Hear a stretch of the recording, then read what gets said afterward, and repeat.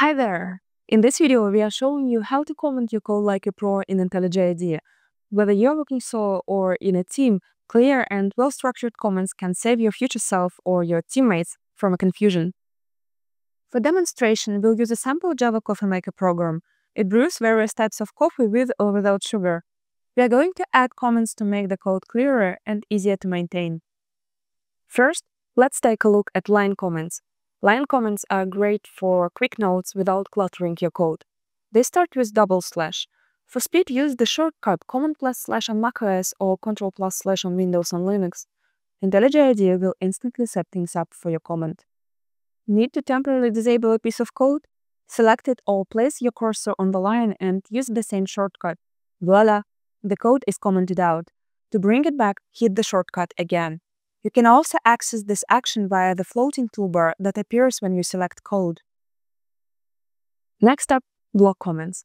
These are ideal for detailed explanations such as describing the logic behind a method or a complex code structure.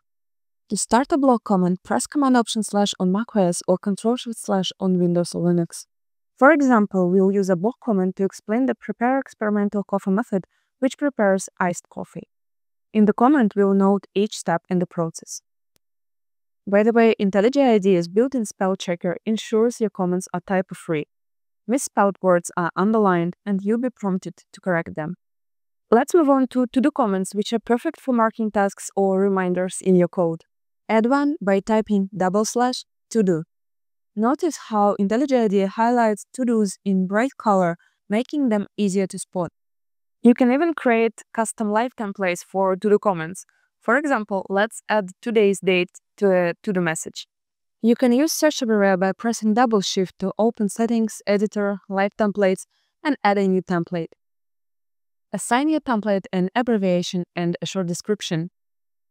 Then define it with a variable for the date and set the scope for its usage. Now when you use this template, the to-do will automatically include today's date. All your to-dos are stored in the To-Do tool window for easy tracking. Next, we'll touch on Javadocs, which are essential for documenting Java classes and methods. Quickly add one by typing slash double asterisk before your class or method and pressing enter. IntelliJ IDEA formats the comment for you and lets you render it neatly with a quick click on the gutter icon. Rendered comments are easier to read and they don't overload your code with extra tags.